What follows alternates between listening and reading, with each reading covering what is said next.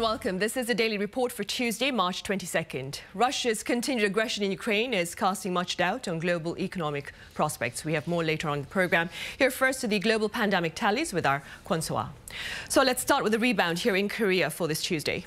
Right, Sunny, just as much as cases have dropped on Monday, they have ticked up again this Tuesday to 353,980 as of 12 a.m. And uh, apart from 46 imported cases, the rest domestic transmissions. Now, although cases jumped uh, by close to 145,000 from the day before, uh, it actually marks a drop when we compare the figure to exactly a week ago on Tuesday. Slightly above 50% of new cases have occurred in the metropolitan region, including more than 96,000 in Gyeonggi-do province, followed by 65,000 in the capital Seoul, and uh, also Busan and Gyeongsangnam-do province still seeing above 24,000 infections. And uh, with that, uh, Korea is close to hitting the 10 million mark in its accumulated caseload, now at 9.9 million. And also the death toll has surpassed 13,000 with 380 84 new reported fatalities. And the number of patients in severe or critical condition is also remaining at above 1,000, however, a slight drop from the day before. Onto our vaccination figures, meanwhile, 87.6% of the nation's population now has received at least one COVID-19 vaccine dose, and 86.6% uh, are considered fully vaccinated, while with a little over 47,000 people having been administered with a booster shot the day before, that percentage stands at 63.2%. Now, globally, around 1.5 million new COVID-19 infections in the past day and a little over 4,500 COVID-19 related deaths. And uh, fueled by the stealth Omicron, the UK now has reported over 220,000 infections in the past day and also Germany still above 180,000 new infections. Uh, we also got six-digit figures in Vietnam, which has uh, led to Vietnam reaching the 8 million mark in its total caseload. And those are the general updates I have for now, but I'll see you back in a bit. Sunny? All right, so uh, thank you for the global tallies. Here in Korea, health authorities believe our Omicron peak may become a prolonged affair. For details, I turn now to Shin Yeun. Yeun, good to see you again. Great to be here, Sunny. Right, so the growing presence of stealth Omicron is looking to prolong our fight against this latest wave, Yeun. Tell us more. That's right, Sunny. While many health experts have been forecasting that the country will pass its Omicron peak by next week, officials say the growing number of stealth Omicron cases could prolong this wave. And this is mainly because other countries previously hit by Omicron, like the US or UK, have seen a fresh rebound in cases due to this subvariant. Now take a listen to what the KDCA chief had to say during Monday's briefing. Stealth Omicron is known to be 30% more contagious than the original Omicron strain. It's also responsible for around 60% or even more COVID cases worldwide. Though this subvariant won't lead to a new wave of the pandemic, we do think it could prolong the current one we're in. So we will keep a close eye on its spread. Also known as BA2, stealth Omicron is reportedly much more contagious than the original strain and already responsible for more than 40% of all locally transmitted cases.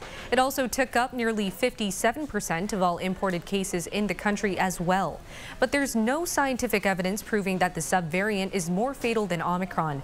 And the most common symptoms of stealth Omicron is dizziness and fatigue, which usually appear two to three days after being infected. As suggested by its name, stealth Omicron has been difficult to detect with current PCR test kits that are used widely across the globe. But Korea has been using a homegrown updated PCR test kit that is set to be affected in effective in detecting all variants from Alpha to Delta and even all strains of Omicron. Right, yeah, now that is reassuring to know. But on a worrying note, the number of severe COVID-19 infections as well as that of fatalities, like Soa mentioned earlier, remain quite high in the country. How are officials responding? Well, for the third straight week, authorities have maintained their COVID-19 threat level at its highest mark, and this comes as roughly 7 out of 10 ICU beds are occupied nationwide amid a spike in the number of critically ill patients and deaths. In a week, we've seen the number of critically ill patients increase roughly 12%, and the number of weekly deaths jump by a whopping 45%. Korea is also running low on stocks of Paxlovid, the only antiviral pill that has received the green light from the country's drug regulator later. That's why the government is planning to take delivery of some 100,000 courses of Lagevrio this week. Now, this is another oral COVID-19 pill, also known as Molnupiravir, manufactured by Merck. Though the government has a pre-purchase agreement for some 242,000 courses of Lagevrio, it hasn't yet been approved by the drug ministry, citing efficacy reasons. While Paxlovid was found to lower the rates of death and hospitalization by 90%, Lagevrio only did so by 30%. But authorities have determined an alternative drug is needed to treat high-risk patients who cannot be prescribed with Paxlovid because of drug-to-drug -drug interactions with their other medications. As of now, only seniors age 60 and up, the immunocompromised, and those 40 and over with underlying conditions like diabetes or cardiovascular disease are eligible for the drugs.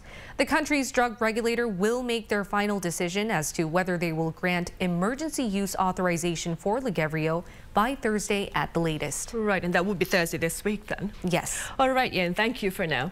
I uh, now turn back to Soa, who is at the desk with Tuesday's morning briefing. Details from that, that is, right, Soa? Right, Sunny. Let's start with a question that has been dragging on for quite some time now. Will Korea soon observe a clear decline in COVID-19 cases? Now, based on the latest caseloads, including the roughly 354,000 infections that were reported on Tuesday, we are no more seeing weekly doubling effects, that's for sure. Also, comparing today's figure to last Tuesday, cases are even slightly lower. Now, this pattern has been showing since the weekend with an official at Tuesday's government briefing saying this is an indication that we have entered the peak of the Omicron wave. He added, though, that we should monitor the rest of the week, especially as Wednesday's caseload usually acts as a key barometer for the weekly trend. Meanwhile, once we do reach the peak, the next question is how fast the country will experience a decline in cases. That's difficult to evaluate at this point, is what health officials Son Young-rae says, with factors like a current rise in the use of rapid antigen tests, as well as the BA2 subvariant that Yeon earlier mentioned, playing a role. 특히 우리나라의 경우에는 the proportion of stealth Omicron cases is rising in Korea, and when considering the fact that this subvariant is somewhat more transmissible than the original Omicron strain, we will have to wait and observe to make an accurate assessment on how the current outbreak may trend downward after reaching its peak. And uh, also he added that it's not easy to analyze uh, why some countries are seeing plunges in cases and some are seeing a decline in a more gradual manner after the Omicron peak. I see. Meanwhile, so I hear Korea's death toll and its uh, tally of critical cases were also addressed today. Right. Uh, the government is uh, preparing its medical capacity so that they can deal with uh, around 2,000 patients in severe or critical condition by the end of March or early April. And uh, Son Young-rae noted that uh, the rate of increase in patients in such condition, however, is rising slower than expected. And he also suggested that COVID-19 may not be the actual cause of fatalities uh, in certain number of fatalities that are categorized as COVID-19 deaths. Let's take a listen. Between 20 and 25 percent of severe cases have been caused by worsening respiratory symptoms as a result of COVID 19 infection, as opposed to around 75 percent of patients with severe illnesses whose conditions were triggered by an aggravation of their underlying health issues. Nonetheless, so given the rising number of COVID-19 related fatalities then, authorities have spoken about efforts to tackle the challenges faced by crematoriums. Right, Sunny. And uh, Yin actually uh, yesterday touched upon the issue of fully booked crematoriums. And this Tuesday, authorities vowed to do more in dealing with those shortages. The government has increased operations of crematoriums nationwide since uh, last Wednesday, with a daily cremation capacity having been increased from around 1,000 1,000 to 1,400. But uh, as the gap by region differs a lot, the government decided to expand their operation to seven cremations per one facility nationwide, a guideline that had been in effect in the metropolitan region and big cities only. Also, authorities have requested all 1,136 funeral homes in the country to accept the remains of those who died from COVID-19 for all kinds of funeral proceedings, just like any others that have lost their lives from other causes. Right, I see. Right, so then let's expand our talk to include Yeun. Now, Yeun, regardless of our Omicron tallies, authorities here remain committed to easing restrictions, right? That's right, and some health experts are definitely concerned about this because we may see a further rise in our daily figure after the limit on private gatherings has been extended from six to eight people from Monday. But the KDCA chief explained earlier that authorities believe toughening social distancing measures may not be the most effective way to tackle Omicron. Take a listen to what Chung Eun-kyung had to say. Because Omicron is so contagious, we realized we couldn't contain it just by using social distancing measures. So we've decided to take a more complex approach, strengthening antivirus measures in our daily lives, encouraging testing to discover infections earlier, promoting more vaccination, and bringing in more antiviral pills. Right, bringing in more treatment options then. So I hear stealth Omicron is also a cause of concern within the academic arena. That's correct. Uh, and this as infections since the reopening of schools earlier uh, has gone up along with a rise in the general caseload. Uh, in the capital Seoul alone, in the span of a week from the 14th to the 20th, close to 70,000 students and faculty have been infected with COVID-19, so roughly 10,000 every day. Uh, that's a rise by more than 11,000 from the week before. The group that had the highest proportion, proportion uh, were elementary kids, meaning those unvaccinated. In nearby Gyeonggi-do province, close to 120,000 infections occurred in the last week, uh, linked to students and faculty members. As part of ongoing inspections of education facilities, meanwhile, since the beginning of the new semester earlier this month, uh, Education Minister Yoo Eun-hae checked the virus prevention measures at universities on Monday. And uh, speaking of universities, uh, the Education Ministry earlier in the day also had an announcement regarding Suneung or this um, college entrance exam later this year in November. But it was interesting that they didn't really seem to have specifics about uh, the COVID-19 prevention measures, which were very important during last year's and the year before Suneung. So uh, let's hope that uh, at this year's Suneung, uh, the um, COVID-19 situation will improve much more. I'll keep my fingers crossed. All right, so as always, thank you very much for the coverage. And Yeon, thank you. See you on Wednesday. Thank you so much.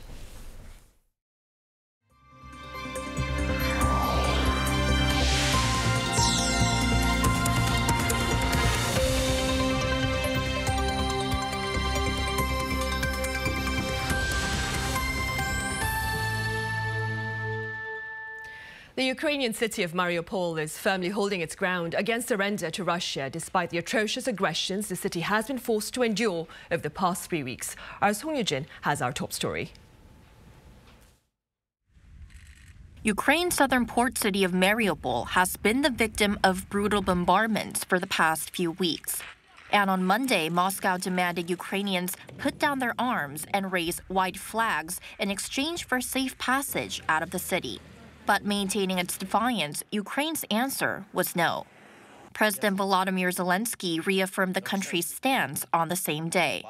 Zelensky told local media outlets that his country would never bow to Russia's ultimatums, and cities including capital Kiev and Mariupol would not fall into the hands of Moscow. Despite Ukraine's resistance, civilian atrocities are escalating every day. It has been officially established then in 25 days of the full-scale aggression, Kremlin has already killed 150 Ukrainian children, destroyed more than 400 schools and kindergartens, and more than 110 hospitals. Thousands and thousands of, of civilians were killed. Calling Moscow's brutality state terrorism, the defense minister warned international society that if the Kremlin is not stopped, what Ukraine faces today may become what they encounter tomorrow. Meanwhile, regarding the kidnapping of the mayor of Ukraine's Melitopol, Russia's human rights ombudswoman claimed on Monday local time that he was freed after being exchanged for nine captured Russian soldiers. She said this was the first hostage exchange between the two countries, adding that more than 500 Ukrainian soldiers have been captured by Russia. The mayor was reportedly kidnapped on March 11th by Russian forces, but President Zelensky's office said five days later that he was released without providing further details. Shelling and kidnapping are not the only parts of Russia's playbook, which also includes online attacks. Following U.S. President Joe Biden's statement released on Monday, the White House pressed businesses to tightly lock their digital doors. We've previously warned about the potential for Russia to conduct cyber attacks against the United States, including as a, as a response to the unprecedented economic costs that the U.S. and allies and partners impose in response to Russia's further invasion of Ukraine. Today, we are reiterating those warnings and we're doing so based on evolving threat intelligence that the Russian government is exploring options for potential cyber attacks on critical infrastructure in the United States. Against looming cyber threats, the Biden administration vowed to use every tool it had to deter, disrupt, and even respond to attacks. 송유진, Arirang News. And in related news, prospects of global starvation are plaguing the world community amid what pundits claim is the worst food insecurity level since the Second World War. Our Om Ji-young explains. The war in Ukraine is foreshadowing a possible rise in world hunger as it is causing global food and fertilizer prices to soar. The New York Times reported Sunday local time that wheat prices have jumped by 21% since Russia's invasion of Ukraine last month. The price of barley soared by 33% and some fertilizers skyrocketed by around 40%. The United Nations Conference on Trade and Development said Russia and Ukraine accounts for about a third of the world's wheat and barley exports and a crucial portion of the world's fertilizers is trapped in Russia and Belarus. The advisor to head Ukrainian presidential office says the war has hammered the country's food exports but it's going to severely limit the export, right? Because Odessa is our port now, Odessa is blockaded, so it cannot export. Even this year, we have about 5 million tons that were still sitting and we cannot export them, and we won't be able to export them. Unlike, so it's already going to hit the uh, global supply chains now. The UN said this month that up to 13.1 million additional people could go hungry due to the war's influence on the global food market. In February, grocery prices in the United States jumped by nearly 9% compared to the same period a year earlier, the biggest increase in 40 years. But experts say the rise in food prices could deal a more severe blow to emerging markets and low income countries. Wheat prices nearly doubled between January and February. Disruptions to wheat, maize, and fertilizer supply can be a real threat to food security for many countries, especially emerging market economies and low income countries. Coupled with China's poorest wheat harvest in decades and shipping constraints amid the COVID 19 pandemic, officials have also warned that the war could lead to global hunger. Om Ji-young, Arirang News. Over in the US, the Federal Reserve has shared plans to adopt an aggressive monetary policy to tame inflation. Our Kim Hyo-sun has more. U.S. Fed Chairman Jerome Powell has vowed to take more decisive action to tackle inflation, which he said jeopardizes an otherwise strong economic recovery.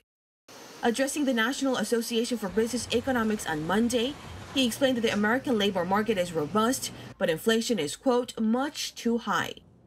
Powell pledged that the central bank would take all necessary steps to ensure a return to price stability.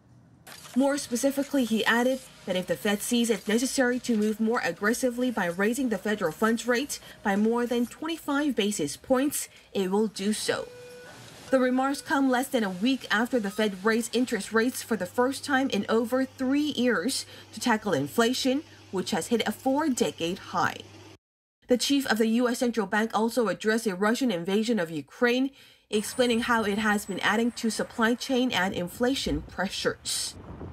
Referring to the Fed's decision to shrink its 9 trillion US dollar bond program, Powell noted that the process could begin as soon as May, but no final decision has been made yet. Kim Hyo-sun, Arirang News.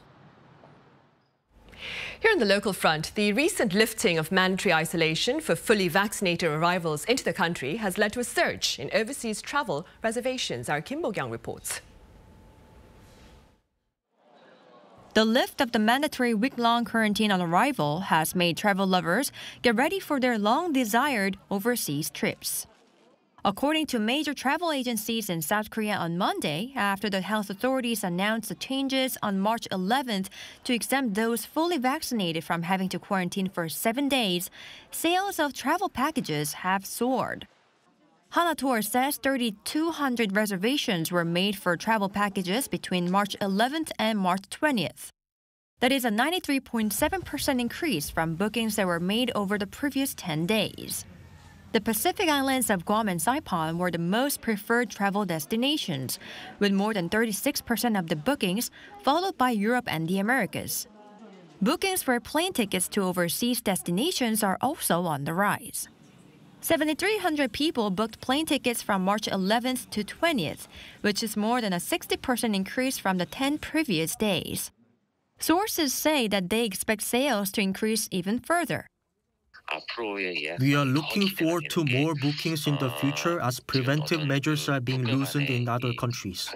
Airlines are now reopening regular flights too, so we are expecting the number of trips overseas to go up. Travel packages and plane tickets are not the only things enjoying a sales increase. Emart, a subsidiary of South Korean retail giant Shinsegae Group, said on Tuesday that it saw a 42.4% increase on year in sales of travel suitcases, including carriers and portable bags, between March 12th and March 20th. Meanwhile, Incheon International Airport Corporation too is gearing up to welcome travelers and is expecting the demand for flights will properly recover starting this July. Kim Bo-kyung, Arirang News. Also on this Monday, that is that that is Tuesday, that would be March 22nd, we mark the UN World Water Day. And in light of this occasion, our Ian Jin shares with us technological efforts here in the country to boost water management. Do take a look. A digital twin is where something from the real world is duplicated in the virtual world. And everything from appearance to live detailed information is updated on the digital twin in real time. This allows experts to run experiments on more realistic terms. Here in South Korea, this technology is being introduced for water management. The first was a twin of the Seomjingang River. The entire river valley has been duplicated in the virtual space. It contains all the information necessary for water management from the river's topography to its surrounding management facilities. This allows experts to predict what will happen along this river in accordance with rainfall forecasts. What experts are hoping for is this technology to be able to play a role in minimizing flood damage from heavy rainfall. Using a 3D topographic data, we cannot only check the changing water levels, but also prepare for any dangers from downstream obstructions by analyzing information like flood levels or flash flood warnings. On this World Water Day set by the United Nations, South Korea has announced a plan to integrate this advanced technology in the field of water management. Fourth industrial revolution technology such as AI and digital twin will play a key role in the competitiveness of the water industry. K-Water will open new horizons for water management by turning its extensive experience into data. South Korea looks to take the lead in smart water management through the digital construction of the nation's five major rivers, starting with the Seomjingang River. Ian Jin, Arirang News.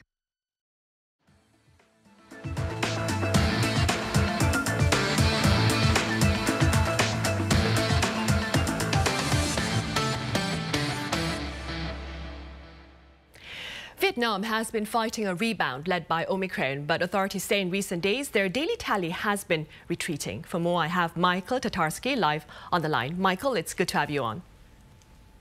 Thanks for having me. Let's start with a bit on the Omicron situation there in Vietnam, Michael. Does the daily caseload appear to be on a tangible decline? Uh, at the moment, yes. Uh, I mean, yesterday was around 160,000 cases, which is much lower than some of the day days in the last week, which have been over two or 300,000. Um, although tracking it day by day is a little bit tricky. We don't really know how much testing is going on on a daily basis. Um, but at the moment, cases do appear to be going down from a very high number, uh, but we'll still have to see how that goes in the coming days. Right. Michael, on the vaccination front, then, Vietnam appears to have an aggressive campaign in place with further plans in the works to inoculate children as young as three years old. Do tell us a bit more. Yeah, so after a slow start last year, um, Vietnam really didn't get going on vaccinations until the kind of July, August, September timeframe. Um, it's become a, one of the most vaccinated countries in the world. Um, almost all um, valid adults or qualified adults are fully vaccinated. About half of the population has now received a third booster shot. There's even early discussions of potential fourth shots being distributed at some time later this year. Uh, we don't exactly know that timeline. Um, and yeah, as you said, they're also discussing children from three to five potentially getting vaccinated. Uh, but the the nearest step will be children from ages five to 11, uh, which they haven't been vaccinated at all yet, but that is expected to start in the coming months. Um, they've been working on 12 to 18 year olds over the last two or three months, and that that that age bracket is expected to be fully vaccinated by the end of April, I believe. Michael, staying with vaccinations, what has been the public response to plans by the government to inoculate children as young as three years old? Um, we haven't seen a whole lot of reporting on that yet. Um, and granted, these plans are fairly new. That's still in the early stages of discussion. Um, I think there will be a, a, lot of concern probably from parents. You know, um, as with anywhere, kids are extremely important. Parents take their health very seriously. Um, the reaction to 12 to 18 year olds has been strong. Um, there's been really no major issues with that. Obviously, younger kids are a bit a bigger question mark, but thus far, I would kind of expect it to continue with you know largely people kind of going along with the vaccination campaign, which we've seen is working. I mean, the case numbers have been incredibly high recently, but the death rate has been very low, um, dropping even. Yesterday, they reported 69 COVID deaths nationwide. Um, of course, that's terrible, but that's well down from from hundreds a day a few months ago. And again, even with these huge Omicron related case spike, we haven't seen any related spike in mortality or severity. Right. Meanwhile, Michael, with regard to border restrictions, authorities there have reportedly announced the resumption of visa-free travel for citizens from 13 countries, including Korea. Do explain this ease in restriction for us. Yes, this comes after uh, two years of the international tourism industry being completely shut down. Uh, there was a, a, a limited uh, tour vaccine passport program that started in November that saw people, a few people come in on charter flights and kind of restricted to just a few resorts. I think about 10,000 people visited under that since November, which is quite a small number. Um, so this has been talked about for a long time. You know, other countries in Southeast Asia have reopened in recent months to varying degrees. And uh, this was a tourism industry that was growing by leaps and bounds. Prior to COVID, a record almost 19 million visitors came in in 2019. Um, you know, South Korea is a, is a huge market for Vietnam, for example. So this was under a lot of pressure from the tourism industry, and also kind of seeing that widespread vaccination and a lack of there, there not being a spike in deaths or severe cases um, kind of allowed this to happen. Right. Michael, do tell us a bit more about the prerequisites for this visa exemption then. Yeah, so it's it's uh, quite a dramatic um, relaxation of rules. I think a lot of people were kind of caught by surprise by just how relaxed it is. So there's no quarantine. Um, you don't even have to show a proof of vaccination uh, to arrive. You just need a PCR test within 72 hours, a negative PCR test within 72 hours of departure, or a rapid test within 24 hours of departure from your home country. Um, and as long as that's negative, you can arrive and travel freely. Um, if you're on that visa waiver program, that is only for up to 15 days. They haven't brought back any longer tourist visas yet. There are also still some questions regarding travel insurance or health insurance and what happens if, if a tourist were to test positive while they're in Vietnam. Um, some of that is a little unclear. But on paper, at least, the regulations for entering are among the most generous in Southeast Asia now. Right. And before you go, Michael, one final question. What can you share with us about the COVID-19 related restrictions over there in Vietnam at the moment? Uh, there largely aren't any. I mean, here in Ho Chi Minh City, at the very least, um, life is honestly back to almost pre-pandemic levels. I would say. I mean, mask people are still almost entirely wearing masks, but uh, traffic is uh, busier than it's been in I think at least a year, at least from what I've noticed. Um, schools are back. A lot of students have been getting COVID, but again, as far as we know, relatively mild. So there's been some disruption with schools. But restaurants, cinemas, uh, karaoke are all fully open. Um, domestic travel is quite easy. Um, I mean, some northern provinces have been a, a, bit more of an issue thanks to their high Omicron caseloads, but there really aren't any significant restrictions in place, and certainly nothing on the national level. Right, well, that is good to know. All right, Michael, thank you for your time and your thoughts. Thank you.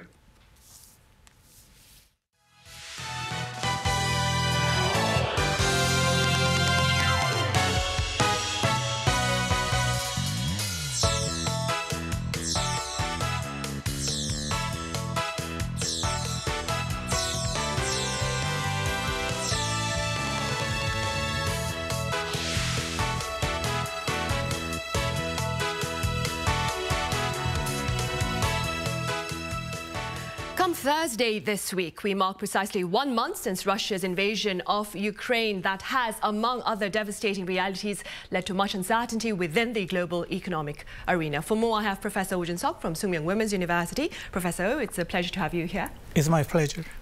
I also have Professor Yang Hee-dong from Ewha Women's University. Welcome back, Professor Yang. Thank you for inviting me.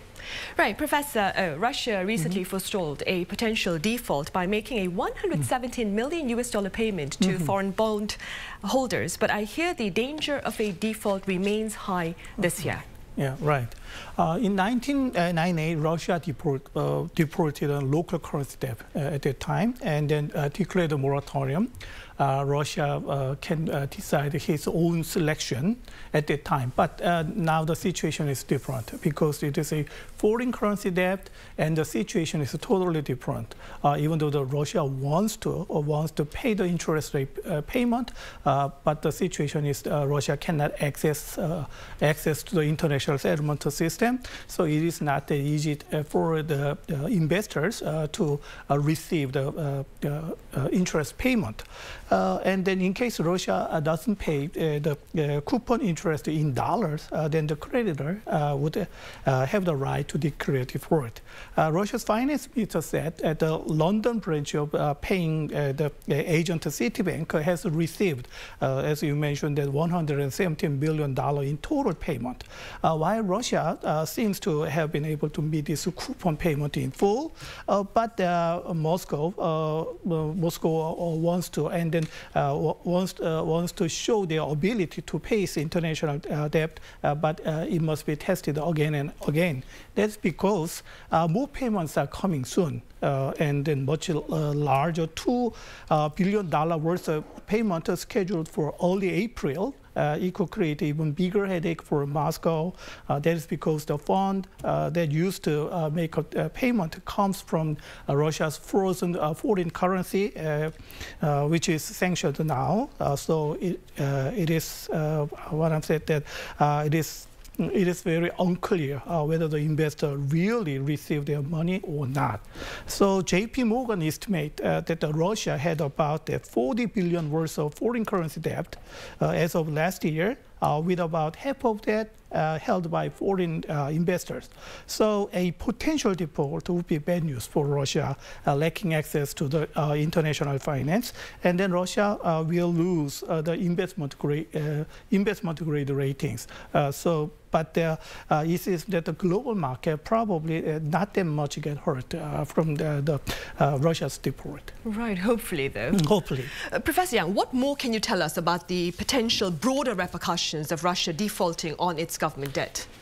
Well, the, as Professor O already mentioned, we should distinguish between moratorium and default. Default means that Russia will decline to pay any interest or loans, whereas moratorium means they want to delay the payment.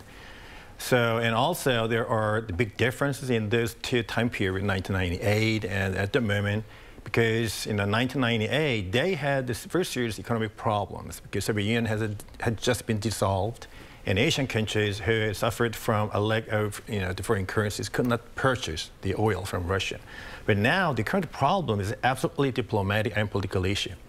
Well, at the moment, the Russian exposure of Korean banks amount to $1.4 billion. That takes only 1.4% out of the overall the Russian exposure owned by the global banks.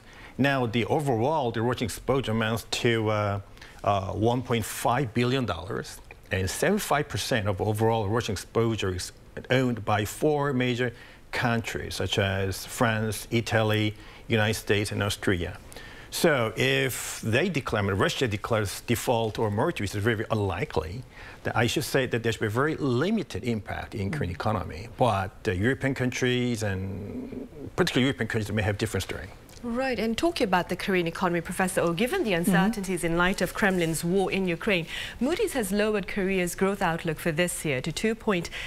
Mm -hmm. But authorities here in the country have vowed to secure a 3.1% economic growth this mm. particular year. What are your prospects? Uh, uh, because due to uh, the raising uncertainties, the global and then the domestic economy uh, is surrounded by a totally uncertainty. So therefore, I agree uh, with the uh, downward revision of economic growth with a range of less than 3% and just above 2.5% because Korean economy should have been affected very negatively afterward.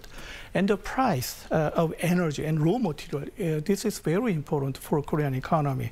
Uh, it composes of the cost of production, um, and this kind of price is rising, and the price of agriculture is rising, and then eventually interest rates is rising. This is the situation that Korea have to face. when the price of input or a factor of production uh, rise, it is called the cost push inflation. Uh, cost push inflation uh, would uh, trigger chain reaction of the uh, decreasing uh, production, decreasing investment, and then as a result, decreasing the level of employment, and finally, at the level of consumption decrease in the market. So when it triggers this kind of vicious cycle, then the economy goes into the trap of stagflation.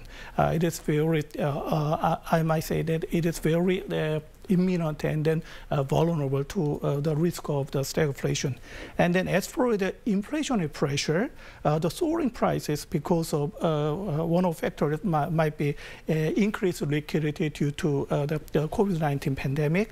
but the external factors like Russia-Ukraine crisis, that it is unavo unavoidable. it is totally unavo unavoidable risk. And more than anything else, if the crude price break the $130 mark, uh, this year's consumer price is expected uh, to uh, reach just 4% uh, of uh, 4%. So in addition, red alarm uh, is on the foreign exchange rate. weakening currency means that it will boost up the inflation because so we procure the raw material and energy as an import. Uh, so uh, when the Korean won depreciate uh, and the value of import uh, increase, uh, so uh, the sourcing cost of production will soar up. the next administration might face this kind of challenges, and then they have to keep balance between controlling money supply and then maintaining stability in the market, which is far from the populism. Right. It would be a daunting task, of course, right. for the new incoming administration. Professor Yang, Moody's has also claimed that Korea will be affected by disruptions in the supply of key material needed within its semiconductor and automobile industries. Having said that, what can be done to address this upcoming reality? Well, that is a big concern, actually, in our economy, because Jerome Powell, this chairperson of uh, the FRB, already declared that uh, the current problem with the, uh, the uh, of the war between Russia and Ukraine may cause big, big disruptions in global supply chains.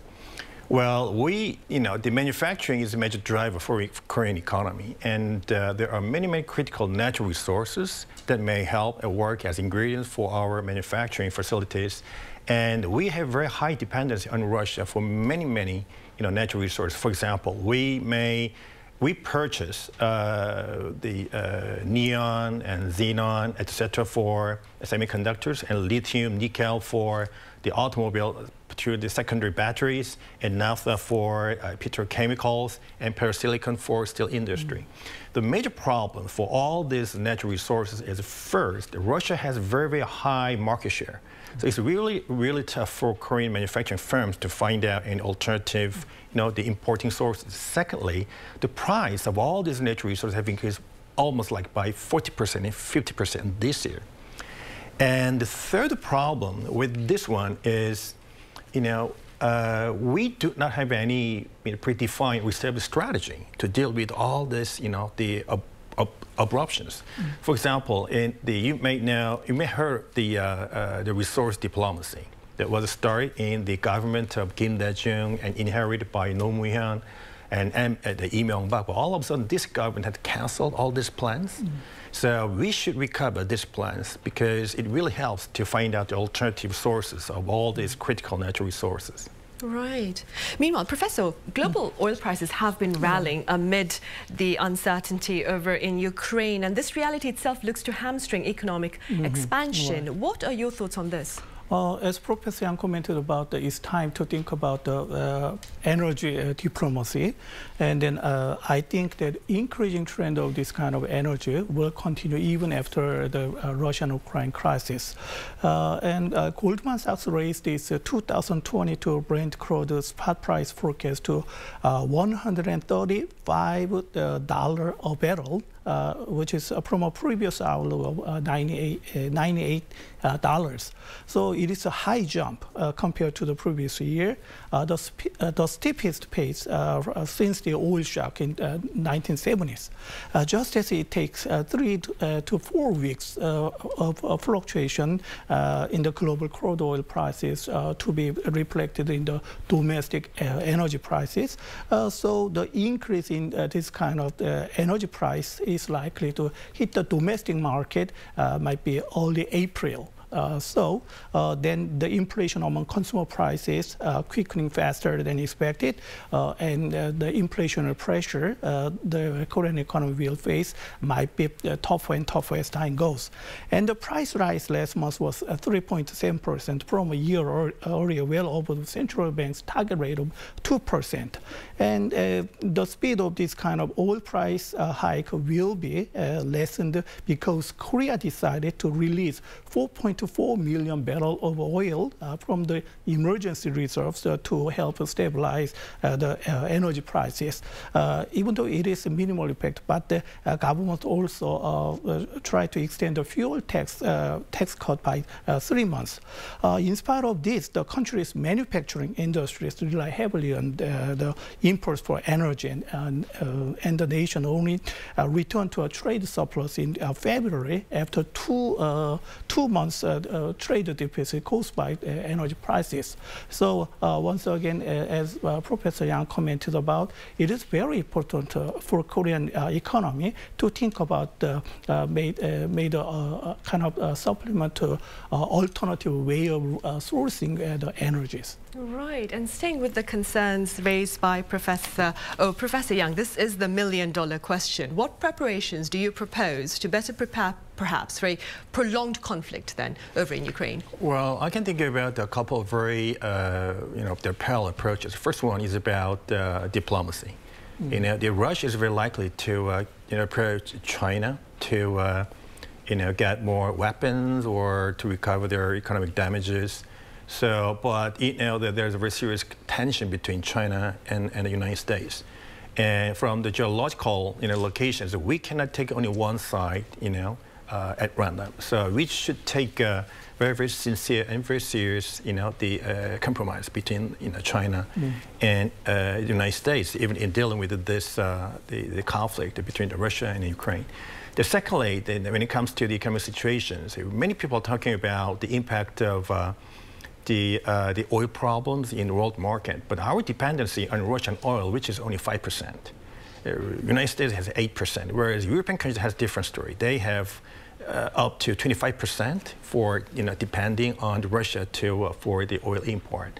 So the, the, more serious problem in our case, again, is on natural resources. So we should work very hard to find out the alternative sources and setting up the new uh, strategy and uh, the government or institutions to explore the real new natural minerals and resources in overseas, etc. So those are a couple of very, very critical steps for our government. Right, we need to diversify our market right. then. Exactly. Professor O, the US Federal Reserve on Monday spoke about the need to adopt an aggressive monetary policy mm. to tame inflation. How does this stance look to affect the financial market, do you think? Mm -hmm. uh, yeah, the, as Sonny commented about the U.S. Fed uh, Chair Jerome Powell uh, announced the interest rate uh, increase by 25 basis point. Uh, the rate increase is uh, within the market's expectation.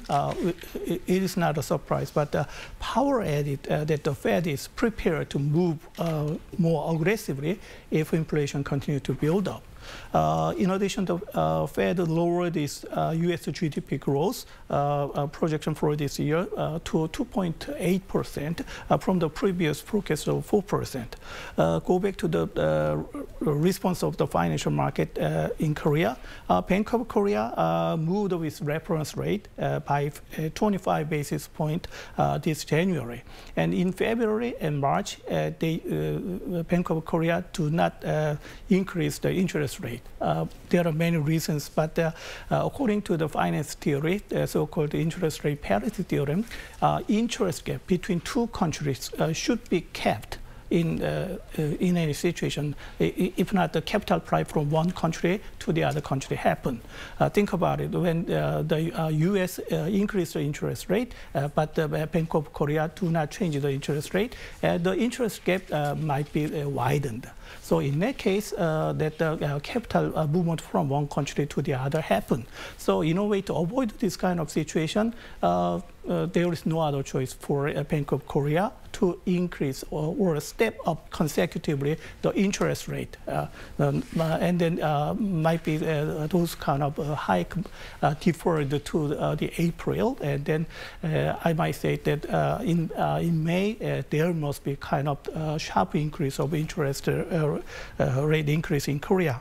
And then financial outlook remains very uncertain. a potential debt to default by by Russia could result in a, a global liquidity squeeze, uh, which triggers capital withdrawal from emerging market, uh, including Korea, uh, to other countries. And then investors took a wait-and-see uh, attitude uh, stemming from the hope for progress in the peace talk between Russia and Ukraine. but we already know that at this time of uncertainty, investors always pay attention to the short-term profit-taking strategy. Right. Mm -hmm. And staying with the same issue, Professor Yang, what more can you tell us about the potential impact of further rate hikes by the U.S. Federal Reserve on the monetary policy direction of uh, Korea's central bank? Well, the we should understand that the major driver for the FRB's decision to uh, increase the base rate is on inflation. Uh, in February, the United States has the highest CPI increase, 7.9%, which is the worst, worst, and you know, biggest the, the, uh, the inflation in the last 40 years. And uh, last month in Korea, we had a CPI increase about by 3.7%, which is the highest after 2011. So, you know, we have new president, and uh, he will absolutely appoint a new uh, leader, chair of, uh, you know, the Korean Bank. And uh, we also have the special committee organized, chaired by the, uh, the, the, chairperson uh, to determine the new base rate. And many people assume that the United States, the FRB, will increase the, uh, the base rate up to 1.9%, which is also declared by uh, Jerome Powell by the end of this year. And next year, three, uh, through three more meetings, the base the interest will increase up to about 2.5 or 2.7. Mm.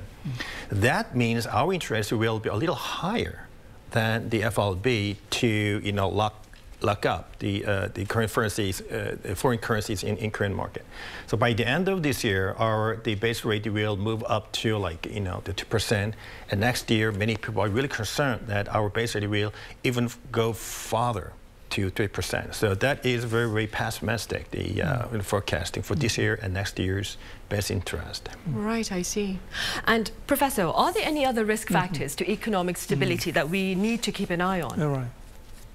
Uh, uh, I might say there is some external factors. Uh, we have to pay attention to uh, three factors. Uh, more than anything else, top priority might be the progress of peace talk between Russia and Ukraine, which is the source of uncertainty now. And then it is a, kind of string with the inflationary pressure and interest rate hike expectation and so on.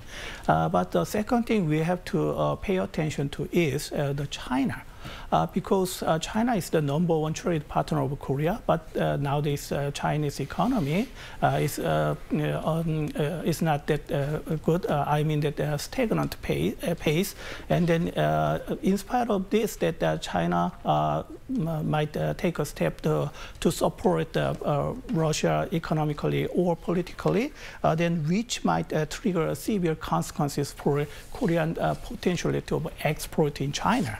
And the last thing uh, we have to uh, think about it is the movement of Japanese yen, uh, because uh, at this situation uh, between uh, the EU and Russia, the US and China, Uh, so uh, the capital market is inundated with uh, total uncertainties.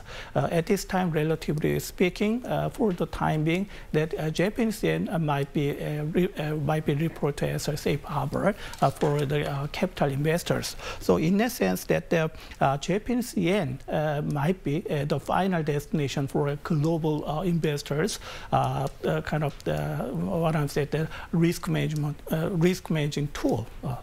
So you're proposing that I should be buying the yen? Uh -huh. Professor Yang, finally, uh -huh. what words of advice would you like to share with the incoming administration as it seeks to take the reins of the country this May?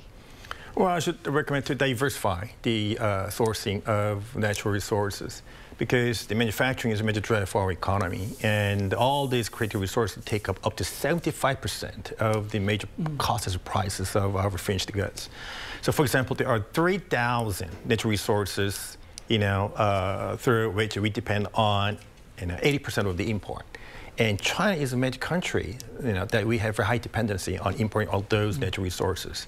Well, we already had the similar experience before, I mean, through the trade conflict with Japan for parts, equipment, and also urea problems from Japan to, uh, you know, fuel your, your, automobiles. So we should strengthen our internal capabilities to, uh, you know, produce all those nature, uh, you know, natural uh, ingredients, and also we should diversify right? The sourcing of those materials. So that should be critical, critical advice I want to give mm. to the new government. Right, all right then, Professor Yang. Thank you as always for your words. Professor Oh, thank you for being with us today. Thank you for having me. Right, well, that brings us to the end of this edition. We'll be back same time tomorrow with more coverage. Do join us then. Thank you for now.